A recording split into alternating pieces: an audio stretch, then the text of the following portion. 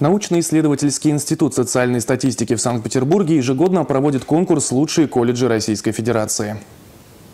По результатам 2018 года лауреатом стал Чебоксарский профессиональный колледж имени Никольского. Данный статус позволяет использовать логотип «Лучшие колледжи России». Сейчас в образовательном учреждении учатся более 2000 студентов из разных регионов России и дальнего зарубежья.